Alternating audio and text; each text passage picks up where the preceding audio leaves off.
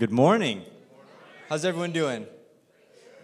I'm not gonna lie. Um, that prayer time, like we didn't necessarily have that in our plan for this morning, and we were in our going our production meeting, and it was like, you know, we should we should pray. I feel like we should pray, and so we prayed.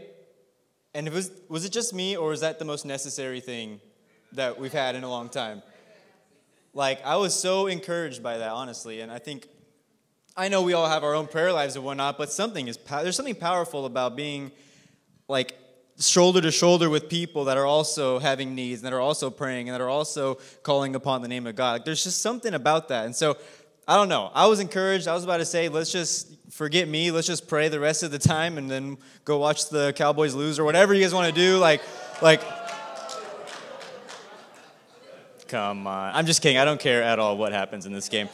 Um, but yeah, my name is Jake Tracey. Uh, we're going to have a good time this morning. Um, and I told Angel back there wearing the 49ers gear, I said, I'll keep it short and sweet. We'll get you your nap before your game, and, uh, you know, we'll be, we'll be good to go.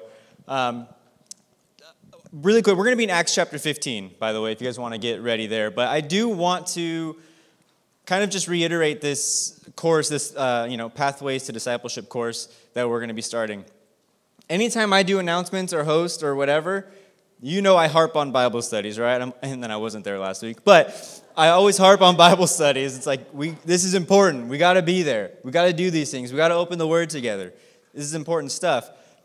This is also very important because it's going to help us understand what we're reading. Is the Bible hard to read for anybody else?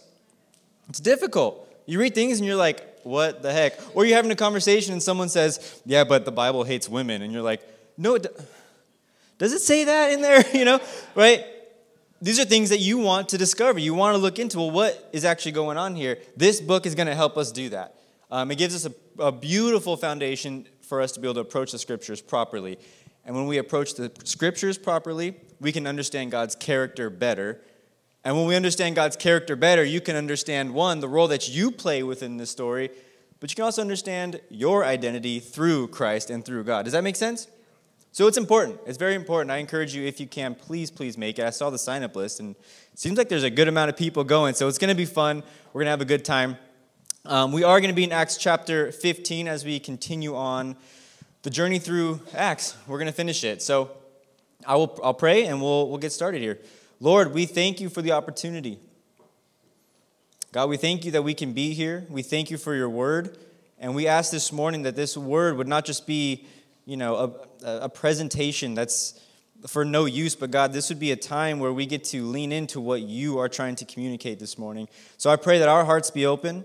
I pray that our eyes and ears be open, that we can see and hear the things that you want for us this morning and from us this morning. And so, Lord, we give it to you, and it's in Jesus' name we all said. Amen. Amen. Well, let's do it. We're going to be Acts chapter 15. The, the theme of this is going to be disagreement. Okay? It's going to be disagreement. Um, some commentators will call Acts chapter 15 the dispute, right? It's the dispute. And we'll, we'll talk about why, because there's some big implications that are, that are involved with what we're going to read. But here we go. We're going to be verse 1. It says this But some men came down from Judea and were teaching the brothers. And they said, Unless you are circumcised according to the custom of Moses, you cannot be saved.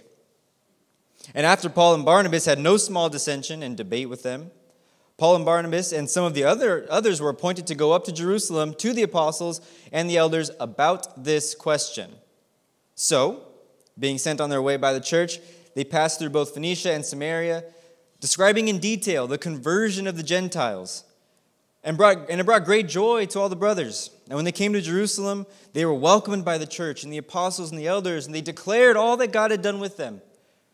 But some believers who belonged to the party of the Pharisees rose up and said, It is necessary to circumcise them and order them to keep the law of Moses. If you were like me, you're kind of a. Uh, I wouldn't say, okay, yeah. If, if, you're like me, you're kind of a worst case scenario thinker. Anybody else?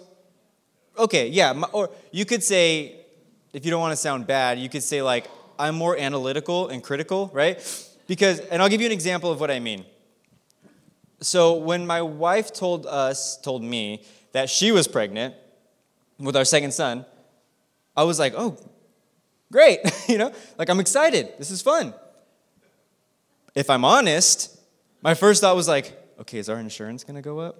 Right? Like, okay, and then he's got, where is he to sleep? We got to figure that out. My car seat isn't to fit. That's for the bigger boy. That's not to fit. My brain goes to the, anybody else do this? You think about all the things that are involved with something, right? Whereas normal people that aren't like me are like, this is great. This is so exciting. Let's celebrate and then we'll figure it out later, you know? Yes, see? Like, yes, and there, there are people like that, and I envy that because I'm like, I wish I was just only excited all the time. But my brain is like, no, hold on, there's a lot of things involved here, and we need to figure it out. But here's the question Are the concerns I have valid? Of course they're valid, right? Like, yeah, we do have to address these things at some point, right? We have, at some point, we're gonna have to figure out where he's gonna sleep. At some point, we're gonna have to figure out if we need to get another car seat, right? At some point, I gotta figure out the insurance situation. Did it have to happen that moment? No. Of course not. And it didn't. Only in my head it happened, just so you guys know. I was like, I was excited outside, but inside I was like, I was like, okay, I'm gonna lean on the Lord on this one here. But no, very excited. And he's actually gonna be here very shortly, and I cannot wait. Yes, he's gonna wait. The end of March. So we, we're, what are we, nine weeks away now? So I'm excited, and we know where he's gonna sleep. Um, but it kind of feels like this is a bit of what's happening here. Um, right? The Gentiles are, Gentiles being just non Jews, are starting to believe in God, right? They're converting. And they're talking, they're sharing these stories about look what God has done in all of these people. Like, look, and, and the Holy Spirit's moving. Mind you, we're not far off after the death and resurrection of Jesus. We're still kind of in the vicinity there. And they're like, man, the Holy Spirit is doing all these amazing things, and people are coming to God, and, and it's amazing, and it's fun, and we're celebrating. And quickly, right off the bat, the Pharisees go, they need to be circumcised. They need to keep the law of Moses. And you're like, dude, okay, yeah, we'll get there, but can we just have a moment? Like, look at all the things that God is doing. Look at all the things that God is doing. And so they say, it is necessary for them to be, the Gentiles, to be circumcised and keep the law of Moses if they want to be saved. So it seems that the Pharisees are adding what, I guess, yeah, the Pharisees are adding what seems to be stipulations to salvation, right? And this is where the debate is going to begin. The Pharisees have one way of how it ought to be, and we're going to look at what Peter, James, uh, and, and, and Paul and Barnabas and what they all have to say. We'll see what the apostles have to say. Verse 6, the debate begins. Well, the apostles and the elders were gathered together to consider this matter, and there had been much debate. Peter stood up and said to them, Brothers, you know that in the early days God made a choice among you that by my mouth the Gentiles should hear the word of the gospel and believe. Here we go. And God, who knows the heart, bore witness to them by giving them the Holy Spirit just as he did to us, and he made no distinction between us and them, having cleansed their hearts by faith. Okay. Now, therefore, why are you putting God to the test by placing a yoke on the neck of the disciples that neither our fathers nor we have been able to bear. Verse 11, here we go. Here's the kicker. But we believe that we will be saved through the grace of the Lord Jesus Christ, just as they will. Do we see the two sides here? Okay. And so here are the two sides, if, just so we are all on the same page here. The Pharisees are saying, no, they need to be circumcised and keep the law of Moses. They got to do the law. You got to keep the law if you want to be saved. And then the Peter and the other apostles are saying, No, we believe that you are saved by grace through the Lord Jesus Christ, and that's it. Now, mind you, throughout this time we have right now, I'm going to cut a little bit of slack to the Pharisees because they didn't have books like, you know, Romans or Hebrews to check back in on and be like, okay, hold on, let's figure out what we're supposed to do. They didn't have this, right? They're kind of, you know, putting the plane together while they're in the air. You know what I mean? You guys follow me? So you kind of give a little bit of grace there. You're like, okay, you're just trying to figure it out a little bit. It's not necessarily like you are in opposition. You just don't know. It's new. Okay? And so that's that's a bit of what's happening. So, with that said, Jesus in Luke chapter 5 he kind of gave us a like a warning or he he, he basically said this was going to happen. And I'll read it to you and then we'll talk about why this is this. But in Luke chapter 5, it's a parable of the wineskins. Anybody familiar with this parable? Okay, so a parable is just a, a story that Jesus used to teach to prove a, spiritual point. And he says this uh, Jesus says, No one tears a piece from a new garment and puts it on an old garment. Because if he does, he will tear the new, and the piece from the new will not match the old. And no one puts new wine into old wineskins. Because if he does, the new wine will burst the skins and it will be spilled, and the skins will be destroyed. But the new wine must be put into fresh wineskins. Okay, this is what we're seeing right now. And I'll explain to you. Here we go. You have the Pharisees, the, the party of the Pharisees, who are pushing for what we're going to call legalism. You got to keep the law. You got to do the things right. If you can do all the things right, you can have salvation. You can have relationship with God. If you keep the law. And again, I'm going to give them some grace here. This was how it was. This was how they related to God for a long time. It was, yeah, you got to obey the law of Moses. You got to offer the sacrifices. This is kind of how it was. And so they're saying, you know, this is how we've always done it. We're just going to continue to do it this way. But that's an old way of doing it. That was the old, that was before Jesus. And in, all honesty, there's some, and I'm not going to say all, but there are some, you know, sects of Christian that of Christianity that kind of believe similar in a sense of maybe they believe that you have to be baptized in order for salvation or you have to keep certain sacraments in order to be saved as a requirement for salvation. Now, I don't believe that, okay? And I have reasons, and I can share one of them. Me and Dylan were actually talking about this the other day, but then you would go, do you remember when Jesus was on the cross? And the thief on the cross, he says, oh my, he comes to a realization, he goes, oh wait, you really are him. And Jesus says, today you will join me in paradise. Did that guy keep the law? Was he baptized? Odds are no.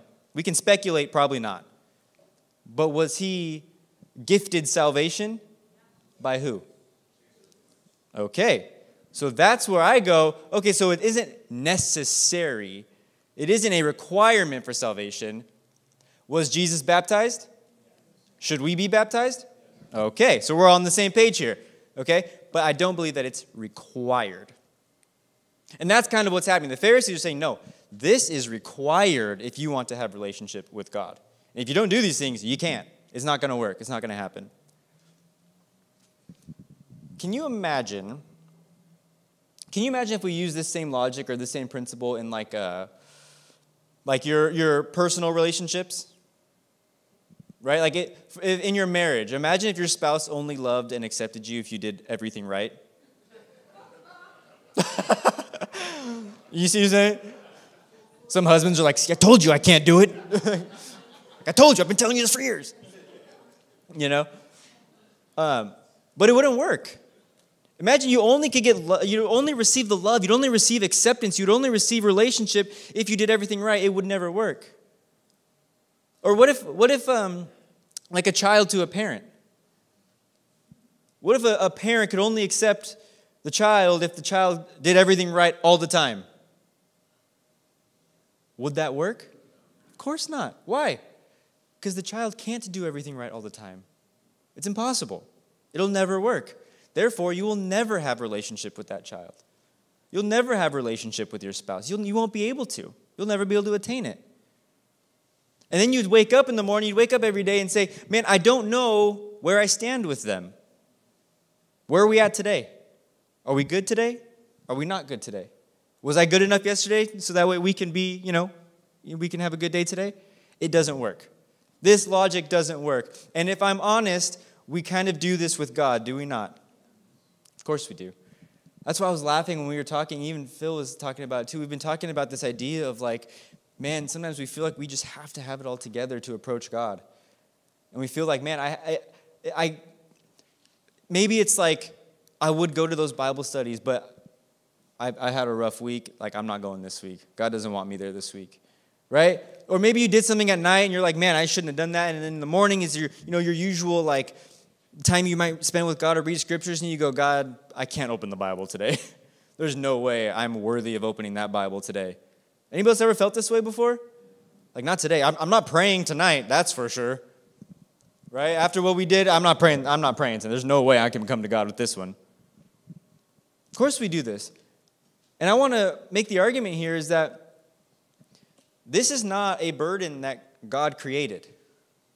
This is a this is a burden that our human nature created because we feel like we don't deserve acceptance from God. Because we feel like maybe we aren't good enough. And I don't have time to get into that, but it's kind of true. But we do this with God. Now, that's how the Pharisees are viewing this. They're saying, you got to do everything, get it right, then you can have salvation. Okay. And that's the old wine. So now we have Jesus. And we have what, the, what Peter and James and the apostles are teaching. They're saying, no, salvation by grace. Jesus is the new wine. Jesus brought a new covenant, a new way of doing things.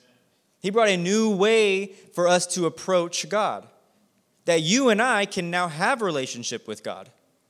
Whereas before we couldn't unless we did everything right. Do you see why this is not going to fit in the old way of thinking? It's not going to work. And so, what we're seeing here is the Pharisees didn't have an understanding of the relationship between law and grace. They didn't understand the relationship between law and grace. And we're going to talk about it a little bit later. But that's kind of what's happening here. Now, I believe we're saved by grace. Yes. But I do want to give a disclaimer is that that doesn't mean, you know, they say, what do they call it? The license to sin, right? That doesn't mean that. I, I do also firmly believe that we should go hard against sin. And I believe that we should hate what is evil, just like they teach in Romans, right? We should hate what is evil, we should cling to what is good. I believe that.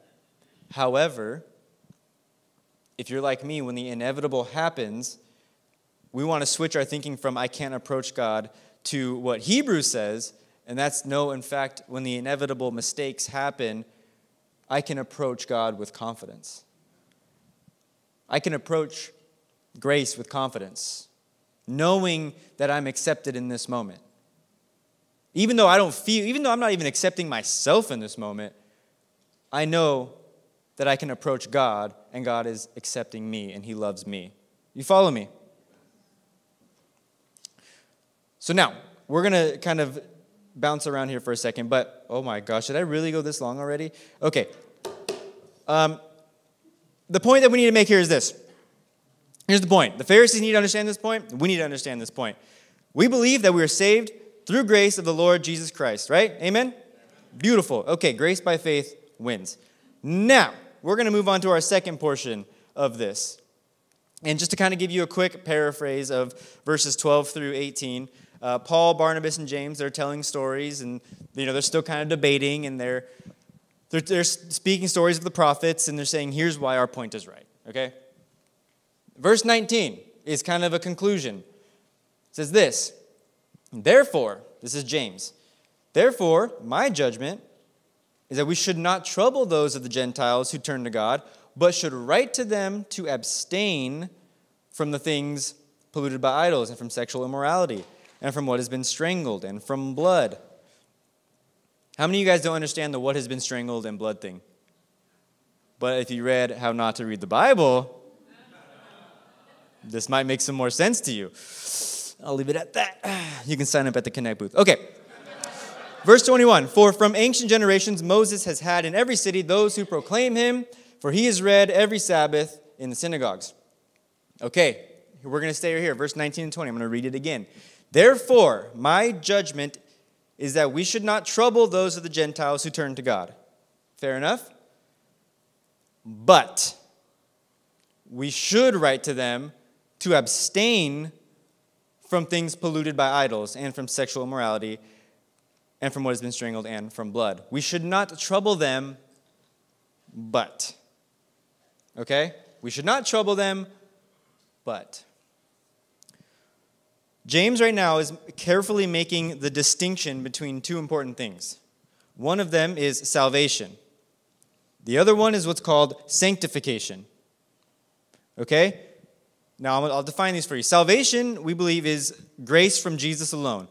When you put your faith into Christ, you repent of your sins, you are saved. Salvation, you are part of the team, you're in the club. Okay? Now, sanctification is the process or the path of righteousness. Okay? So it's the path that basically you and I are going to live for the rest of our lives as we walk closer to God. It's this idea of walking closer to God. The actual definition would be to be made holy, being made holy as an ongoing, almost a verb, really, being made holy. So, just because you've accepted the Lord, yep, you're saved. Now we begin the process of sanctification. So let me illustrate it kind of like this. Let's say God is over here, okay? You and I, at some point in our life, we're walking this way, yes? Walking away from God. And then there's a moment where God, however it looks for you, God caught your attention.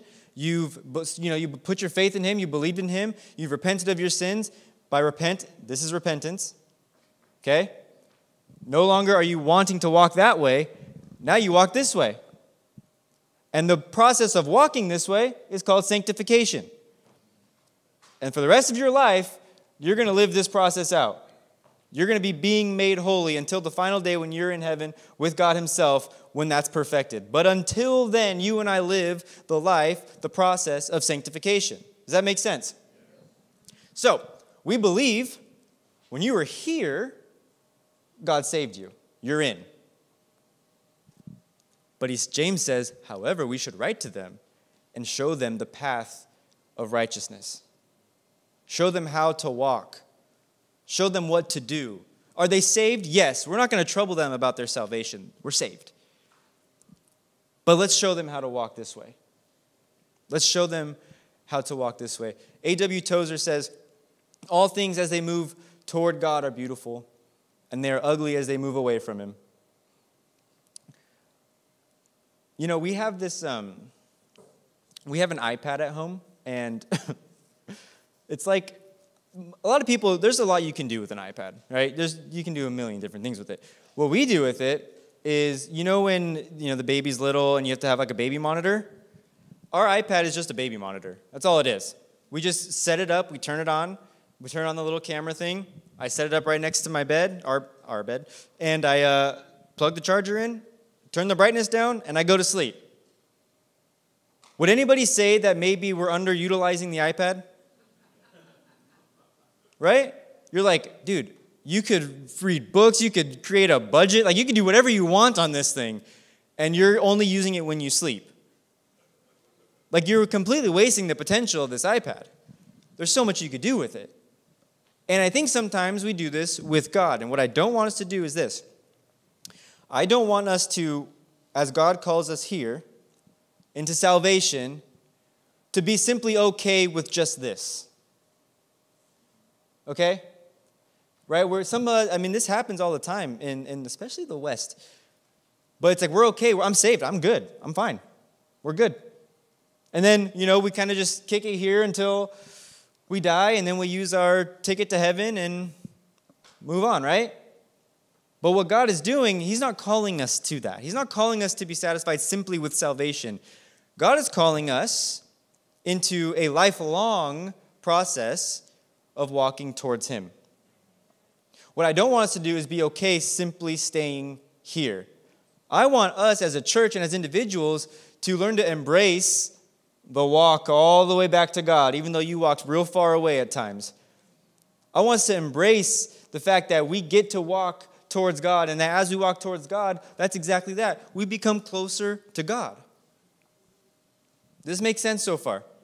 This is what's called sanctification. And I think a lot of us, i mean, I can even say it for myself, is like, many of us have been saved for years. We've been in the church for years. And you go, I feel stuck. I just feel stuck. I feel like I've been in the same spot for a long time. And you have to ask why. Now, we don't believe that you work your way to salvation, but we do believe that salvation should cause you to work your way to Christ. And I don't mean to salvation, I mean just to getting closer to growing in relationship with Christ.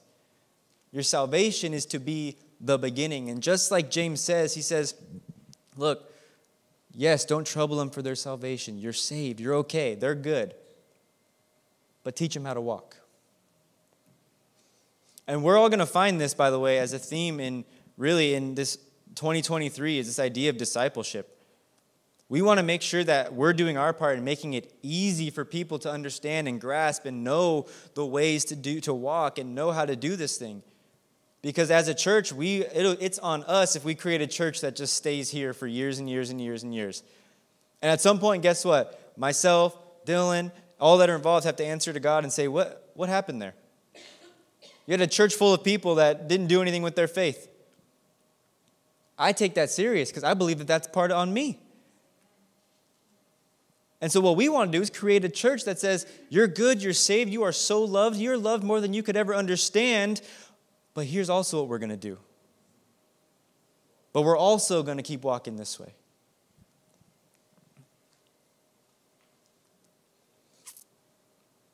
You guys are going to love me because I'm about to wrap this up right now. Um, no offense, Dylan, but uh, I said no offense. That means no offense. Stop laughing at him. That's going to offend him. Okay, here we go. I'm just kidding. I love you so much. Also, really quick before I close this out, Dylan said that he's never ever preached with a beanie on. I firmly believe that's a lie. Now, it's not here nor there, but I think that's a little fishy. Anyways, moving on. I'm going to check back in our records and our photos and see if I can find one. And if I do, it will be on that screen next week. Um, so here, as we wrap this up, here's here's kind of what I want to illustrate one more time as we. This is kind of like, and Dylan uses gym analogies a lot too, right?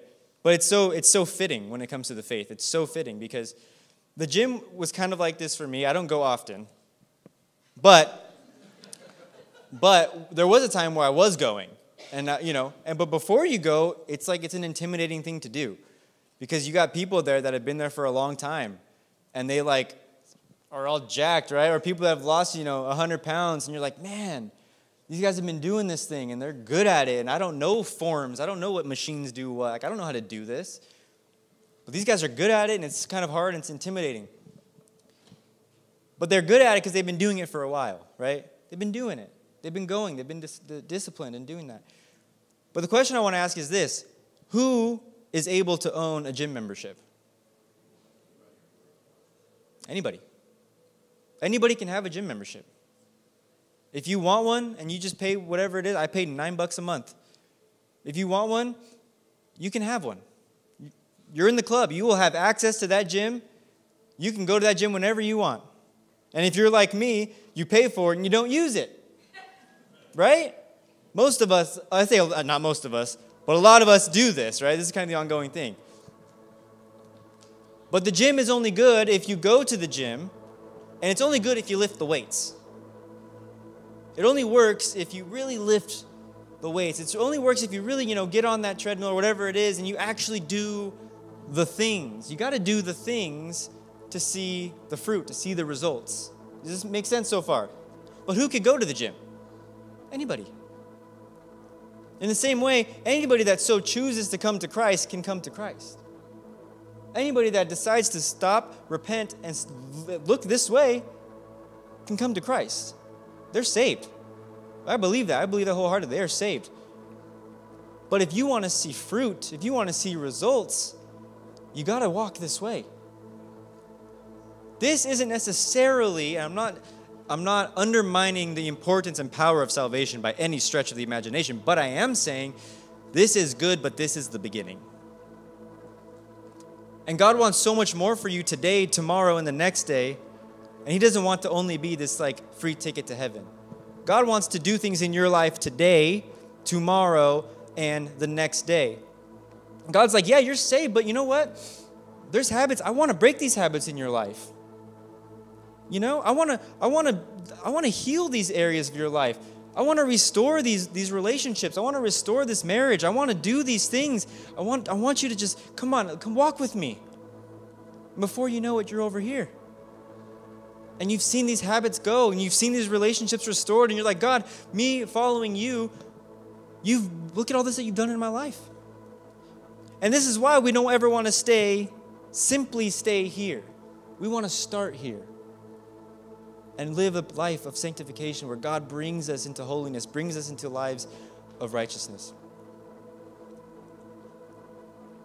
Verse 28 says, For it has seemed good to the Holy Spirit and to us to lay on you no greater burden, this is them writing the letter, than these requirements that you abstain from what has been sacrificed to idols, and from blood, and from what has been strangled, and from sexual immorality. If you keep yourselves from these things, you will do well. You'll do well. Will these things by themselves save you? No. Are they good for you? Yeah. They are.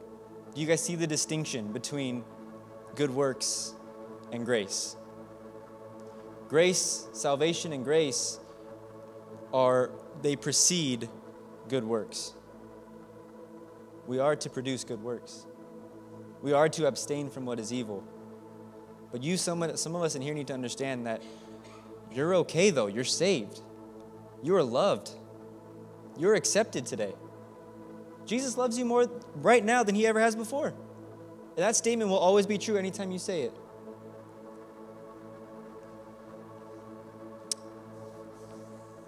And so let's settle the dispute here. You're saved by grace through faith in Christ, done deal, but now you live a life on the path of righteousness. Paul says it, he sums it up very well in Ephesians. He says, For by grace you have been saved through faith, and this is not your own doing, it is the gift of God, not a result of works, so that no one may boast. For we are his workmanship, created in Christ Jesus for good works, which God prepared beforehand that we should walk in them. Now, I want to take this one step further, and then I'm done, I promise. I want to kind of expound on this, this gym thing because I thought about it like, you know, um, you kind of have to think of God like, a, what are they called? Like a spotter, right? Or like a trainer at the gym. Someone who's like kind of walking alongside you, right? And so you go to the gym and, and you see the guy, like, you know, you're uh, bench pressing or whatever, and there's a guy that's like right there holding the bar, just making sure it doesn't fall, making sure that thing doesn't fall. Sometimes we view God like, hey, this weight is heavy and I've dropped it on my chest. And you look at God and you think He's going and He's slamming it down even further, saying, Don't talk to me until you can lift that weight. Don't talk to me until you got this. But God is more like the spotter or the trainer saying, I understand you don't have it quite yet.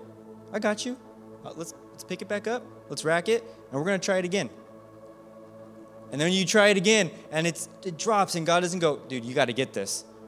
He's like, no, pick it up. Let's go. Come on, keep going. I'm not going anywhere. I'm still here.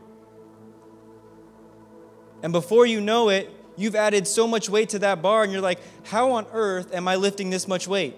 Because you spent so much time with God as God is partnering with God that you were once here and God all the way before you know it brought you all the way over here because you kept going.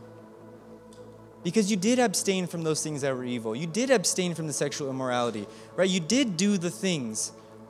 And now you get to see the fruit of what God is doing in your life. My point is, you are saved by grace, but God has so much more for you than simply salvation.